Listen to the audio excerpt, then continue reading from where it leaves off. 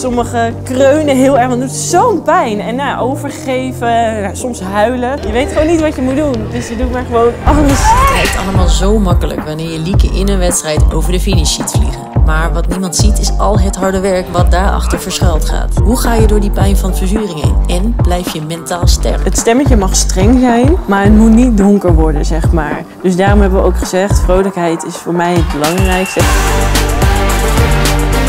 Dit is het verhaal van Lieke Klaver op weg naar Parijs.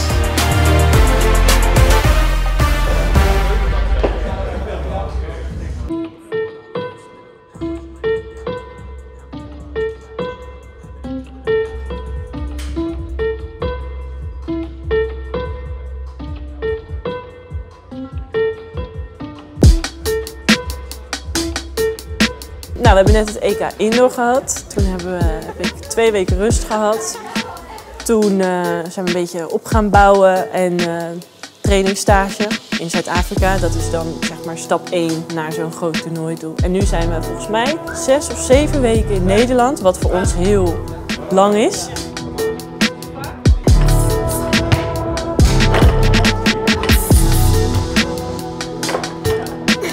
Ja, hoe ziet het er verder uit? Gewoon, ja, trainen, trainen, trainen. Uh, steeds specifieker op de 400 meter prikkel. Dus iets meer met lactaat en iets meer, iets sneller, maar kortere runs. Nou, dan ga ik. Dan doen we er even het gewicht erbij. Samen snatchen doe je net altijd of 2,5 en 5 ja. Zorg ook dat ik dan na de jongens ga, maar dan doe ik gewoon een beetje erbij. Dat is maar 500 gram.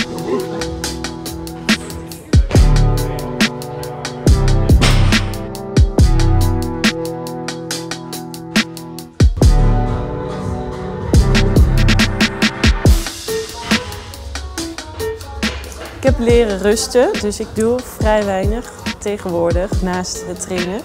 En uh, dan ga ik gewoon lekker naar huis. En dan uh, ga ik thuis een beetje rommelen. Dat heb ik echt moeten leren. En nog steeds moet ik tegen mezelf zeggen, doe even rustig. En gewoon thuis blijven. Ga naar huis en blijf daar. En verzin niet allerlei dingen. Oh, ik kan nog wel dit doen. Oh, ik kan.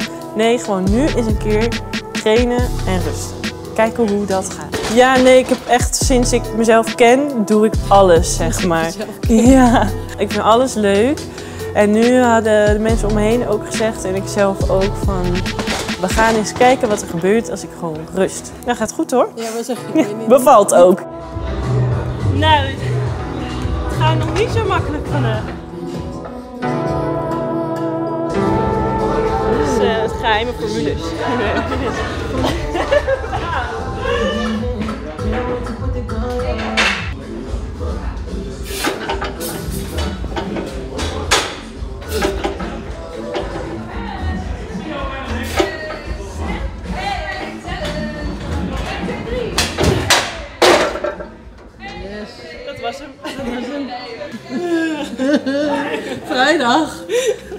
is een vrijdag, dan weten jullie dat.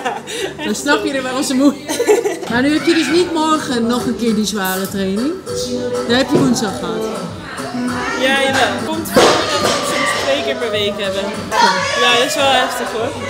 Maar ja, omdat we dat doen, kunnen we ook een heel toernooi zeven keer voluit gaan. Zo binnen Ja, tien precies. dagen ga je gewoon zeven keer tot het na. Daar is dat echt voor, omdat je dan... oh, Oké. Ik probeer ook altijd aan mijn familie dus uit te leggen hoe zwaar trainingen zijn. Want die, ja, die vinden het lastig om te begrijpen.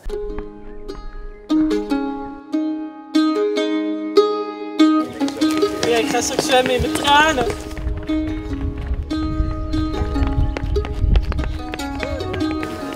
Oké, dus het is En toch wel een zwaar schema. Hè? Het is toch wel een zwaar Ja, schema. het is zeker een zwaar schema. Absoluut. Toch wel een zwaar schema. Dat gaat wel niet dan. Dus we hadden gezegd, Bram, 52, 0. Jij, ga je fluiten? Ja, 53. Oké, Ik ben net voorzitter. ja. Eh ik fluit op 33. 33. Ja, en wat wil jij lopen? Nee, ja, gewoon 33 is prima. We hebben vijf minuten rust vaak. In op de vijfde minuut is wetenschappelijk bewezen dat je lactaat het hoogst, dus de melkzuur, is het hoogst in je, in je benen. En dan zorgen we altijd dat we bij die minuut nog een keer gaan rennen. Nou, dat doe je dan een paar keer met dus die vijf minuten tussen iedere run. Dus dan bouwt dat lactaat echt zo heel venijnig zo op. Nou, ik hoor het als we het goed doen. Eh, ja, over één minuut.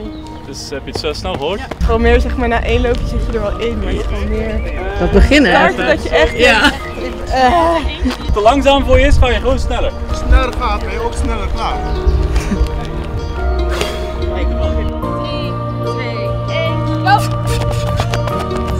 En dan nou, bij de laatste of de ene laatste run, dan brandt alles in je bovenbenen, in je billen. Ehm, je raakt een klein beetje in paniek omdat je niet weet hoe je moet staan, liggen, zitten. Wil je, moet je wandelen of in je ademhaling zit tot Tokio.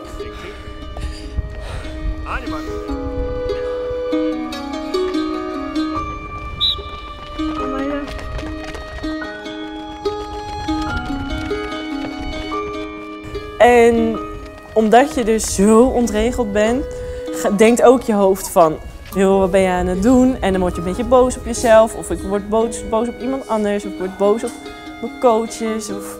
Ja, het is gewoon, ja, sommigen schreeuwen, sommigen ja, kreunen heel erg, het doet zo'n pijn. En nou, overgeven, ja, soms huilen, sommige van ons, vooral de meiden, we huilen gewoon. Je weet gewoon niet wat je moet doen, dus je doet maar gewoon alles.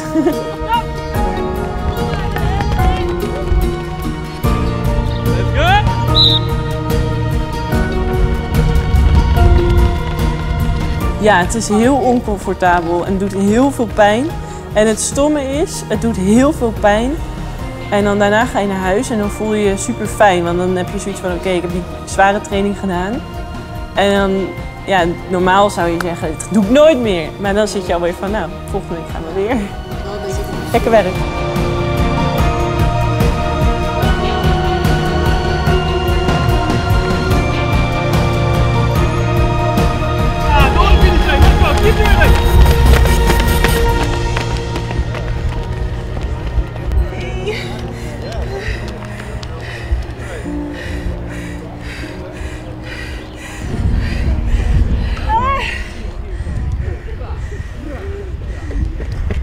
Ja, eh, bijvoorbeeld woensdag hadden we een hele zware training. Eh, toen lag ik tegen de rand van de bosjes aan omdat ik dacht, ik voelde dat ik moest overgeven. En toen, nou, de een bracht mijn bidon naar me toe. De ander die zei, eh Liek, moet je even wat warms aan? En nou, dan na een tijdje komt mijn coach, lukt het? En nou, aan hem gevraagd van, hoe kun je overgeven als het niet lukt? nou, en zo helpen we elkaar wel allemaal. Dus dat, ja, ik, ik ga liever heel erg door de pijn met fijne mensen om me heen. Dan dat je ook nog eens denkt, goh, die stomme groep hier. Ja, nog maar eentje. Eén zware run en daarna wordt het alleen maar korter. Dat is de eerste teken. Zo. Je loopt, hoe eerder je klaar bent.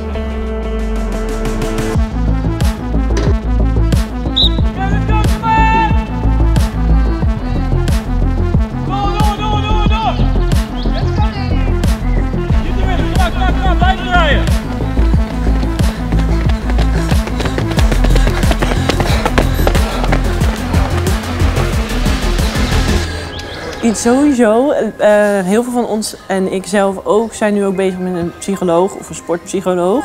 En eh, die helpt ook wel, die heeft mij heel erg geholpen om, zeg maar, het, stemmetje mag streng zijn, maar het moet niet donker worden, zeg maar. Dus daarom hebben we ook gezegd, vrolijkheid is voor mij het belangrijkste en wel gewoon de oprechte vrolijkheid. Dus bijvoorbeeld, vroeger, als we dan zo'n hele zware training hadden, dan ging dat stemmetje, die werd dus best wel eh, onaardig, zeg maar. En nu kan ik gewoon normaal tegen mezelf, kan normaal blijven in mijn hoofd, zeg maar. Ja, dat moet je volgens mij ook leren.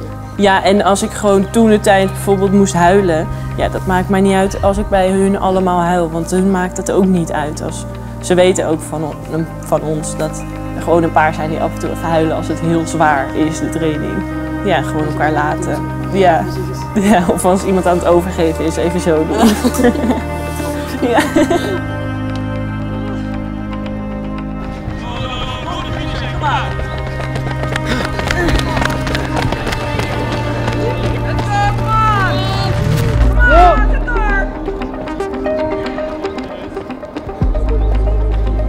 Nou, wij zijn heel hecht geworden door eh, die coronaperiode. Dus wij hadden toen met z'n allen een, eh, ja, een bubbel gecreëerd. Dus we konden wel gewoon met z'n allen ba- barbecuen en gewoon met z'n allen leuke dingen doen, terwijl het eigenlijk soort van niet mocht. Maar ja, we zagen elkaar wel iedere dag. En ehm, ja, toen, daar zijn we heel hecht geworden. En toen daarna volgde de zilveren medaille van de jongens eh, in Tokio. Dat, ik weet niet, omdat we allemaal ook dat konden vieren. Dus ja, zijn we heel hecht geworden. Het voelde echt een beetje alsof ik zelf ook zilver had gewonnen. Nee, het was echt een teamding.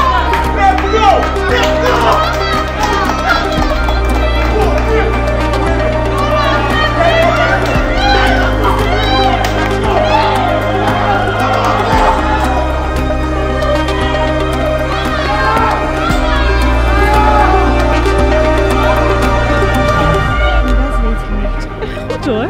Ja. Als het klopt wat, wat ik nu in mijn hoofd heb, dan ben ik echt wel blij. Dit is ook allemaal kop. Too soon. Ja, echt. Oh, let op. Dat is ik allemaal omhoog mee. Gewoon 32,3 en 18,6. netjes man. ja, dat is echt nice. Heel goed. En ik zie dat je 10 en een half minuut pauze hebt gehad. Dus je hebt nog anderhalf minuut. Oh, ik schrik al. En nu, wanneer heb ik dit gehad? Als, we, als ik bijvoorbeeld de 4x400 heb gerend, dan ben ik zo trots ook op die andere meiden. Dus ja, je voelt dan misschien iets minder. eh, stel, ik loop een, eh, een 49 of een 48 split of zo. Dan zou ik minder snel vet trots op mezelf zijn, maar zou ik echt trots ook op die anderen zijn. Dat je onder ook die druk gewoon weer gepresteerd hebt. Maar al zou ik daarna individueel zelf echt een lijpe tijd lopen, ja, dan, dan gaat natuurlijk alle lof naar mezelf. ja. ja, dan denk ik dat is zo je nou precies, heb je testjes of zo? Hoorde Ja, ik? het is gewoon een uur warming up en dan eh, dit drie Oeh. keer volgens mij, of vier keer. Ja, je de druk in je blok en dan daarna met door de opto, ehm, Ja. paslengte, frequentie, eh, snelheid. Oh, wauw. En daarachter is, is dat ding met die sok eroverheen. Ja? Dat is een laser. Oh, wow. Hè? En doe je dit eh, heel vaak, dat je nou elke keer kan vergelijken of zo? Ja, nou we doen het Vaak? drie keer per jaar of zo.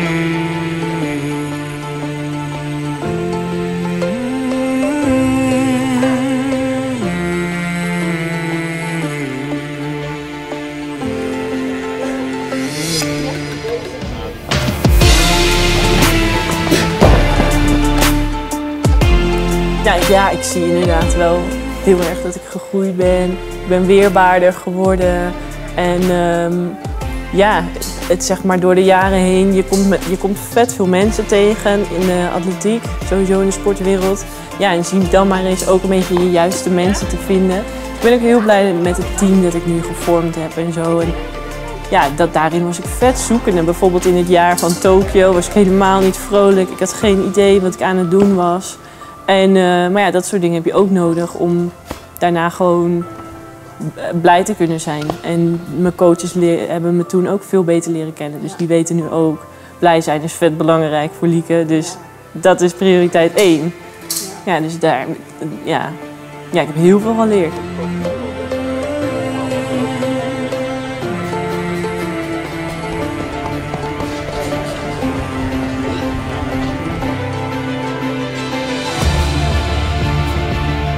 Dus dit jaar, ja, ik heb een vet goed indoorseizoen gedraaid met, eh, en, eh, met een zilveren medaille. Ehm, dus dat biedt wel iets heel moois voor outdoor. Maar goed, dan is stap 2, ga het nog maar even doen. Dus ik wil gewoon eh, zo goed mogelijk dit seizoen de hardste tijd ooit lopen. En dan volgend jaar gewoon hetzelfde, nog harder. Dit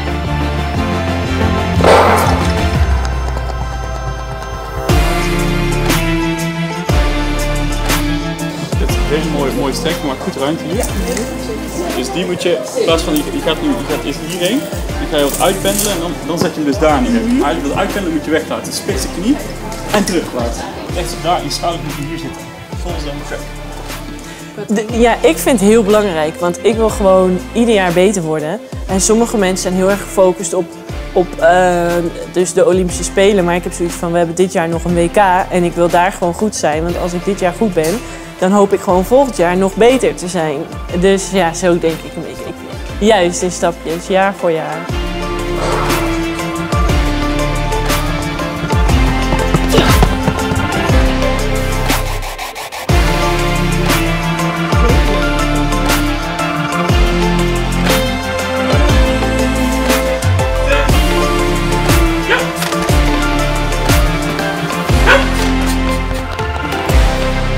Je bent nu geduldiger, het maakt meer ruimte. Het voelt langzamer, maar het is sneller. Dus je bent veel efficiënter. En dat is voor een kilometer lopen vrij. Belangrijk.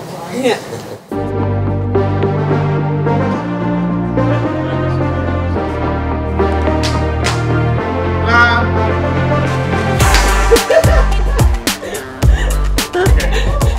Ja, ik ben nou wel echt heel trots op mezelf. Maar ook gewoon... Ja, het, ik weet dat ik nog veel sneller kan rennen en, en nog veel vettere dingen kan gaan doen. Maar ik ben nu al wel echt heel trots op mezelf hoe ik het allemaal eh, even heb geflikt, zeg maar. Ja.